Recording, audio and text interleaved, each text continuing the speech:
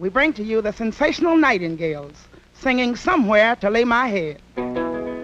Oh, I am trying to sing The Sensational Nightingales is one of the earliest gospel quintets. It was founded in 1942 by Barney Parks, who'd been with the Dixie Hummingbirds. Many of its early recordings featured the late Reverend Julius Cheeks and Archie Brownlee, whose vocal intensity was later copied by Bobby Bland and Wilson Pickett. The Nightingales signed with Peacock Records in 1947 and released their first single, Will You Welcome Me There? Several more hymns followed. I want to tell you here, the church bell tolling.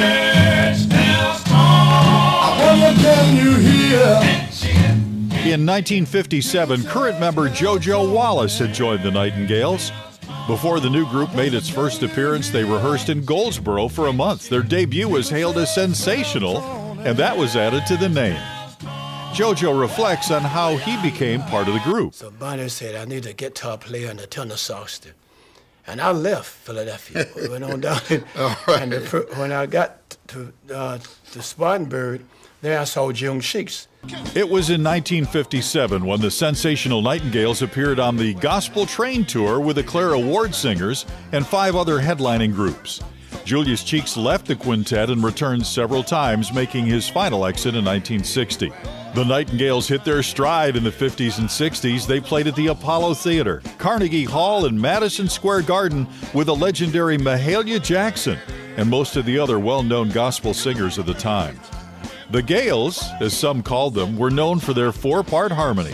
Wallace says the songs are short, direct, and to the point. It's the word of the Lord.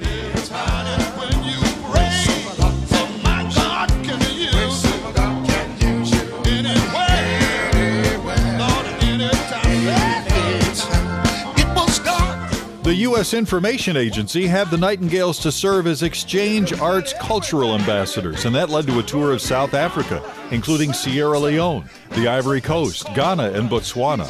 Their last tour took them across Europe to Germany, France, Switzerland, and Spain. The sensational Nightingales were nominated for Best Traditional Soul Gospel Album at the 2003 Grammys. The group has some age on it, but they're still spreading the word of the Lord the only way they know how through music and song. I know God's people, but say, can't you hear him saying, we got to hold on a little while. Oh, just a little while.